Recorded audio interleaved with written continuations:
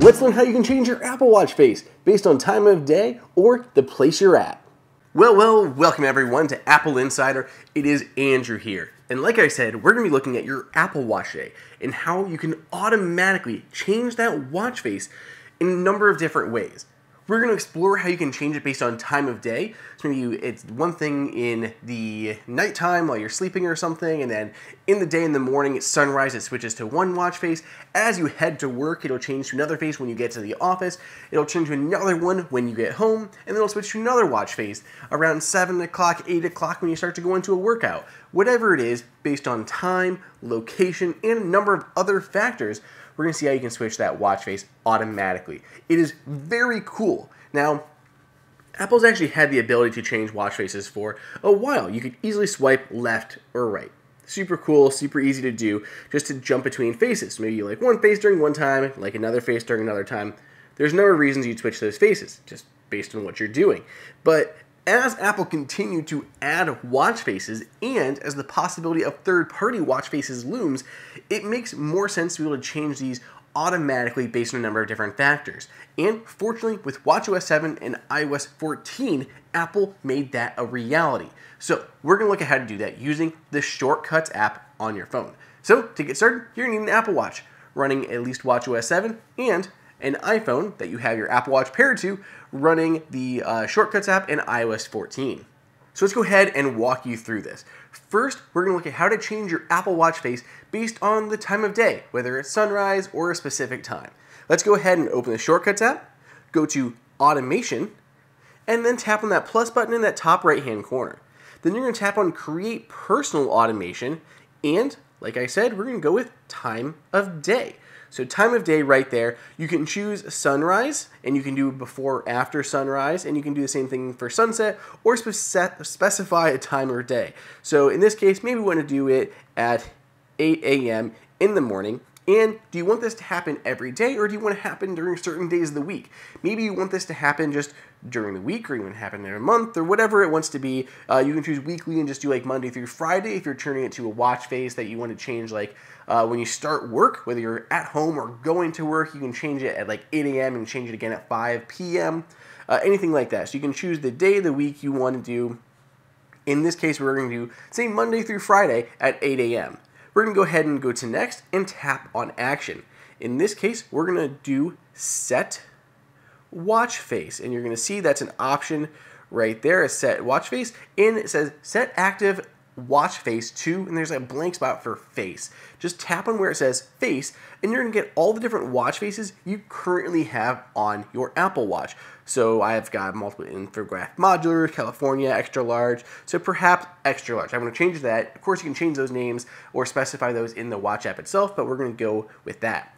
And really, that is it. So when this happens, 8 a.m. on weekdays, is going to set my watch face to that extra large face that I chose. And right there at the bottom, turn off ask before running. That's going to allow this automation to run completely behind the scenes without having to ask you before it should run. So I don't want to ask me, I just want this to happen. I just want this to go on. So turn that off, tap on done. Now 8 a.m. on weekdays, that's going to run. Now you can create multiple of these. So that's just one. We did just at 8 a.m. We can do another one for uh, 5 p.m. perhaps. And again, we want to switch it just to certain days of the week. Next, and choose another watch face now. I can set it to any of the ones I've got in there. I've got plenty of watch faces to choose from. Um, set watch face. Choose my face. How about the Chronograph Pro? That's always a good one.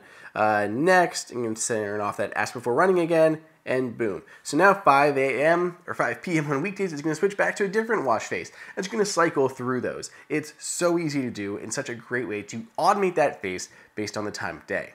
Now let's go ahead and take a look at how to do it with locations. This is going to work in largely the same way. We're going to tap on that plus button in the top right hand corner and hit create personal automation. Now you're going to go down to arrive, or leave because when you're arriving in a place or leaving a place. So they've got a gym, for example. So I'm to hit arrive, and then I need to choose a location. Maybe I want to set it to change to a certain watch face when I get to the gym.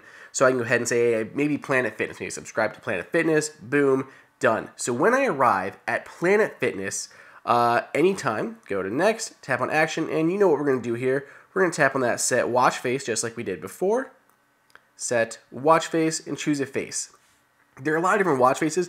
I have a good one here. I believe it's my uh, simple watch face, perhaps, that I have a lot of shortcuts I use for starting workouts. So I can see like things like my heart rate and battery. I can see my, um, there's a shortcut there for jumping in and starting a workout. So it's really handy to have kind of all of those there on that face before I even start anything in an actual workout. So I can switch it to that watch face. Again, next, set watch face when I arrive at Planet Fitness and I'm done. And you can set a different one too. So I can do when I leave Planet Fitness or when I leave the gym, I can set it something else. Or when I leave work, when I leave the house, when I arrive at work, when I arrive at the zoo, whatever location is, you can specify an actual address or find a building, but you can mark those locations in there and change your watch face based on those locations. So that pretty much covers it, but I do want to make sure you guys are aware of how much other, how many possibilities there are. When you hit that create personal automation, look at all your different options here. So you can do when you start a workout, that changes the watch face to something. So maybe that is your trigger to set the watch face to something else. Even if you're in a workout, maybe you want to switch to something. Or you can do based on a Wi-Fi connection. So instead of a location, if you don't want to grant location access, do it on Wi-Fi. So whenever you connect to your work Wi-Fi, set your watch face to something. That is an easy way to do it as well. There are low power modes, um, you know, battery levels, all this kind of stuff that you can use. So any of these can trigger that action.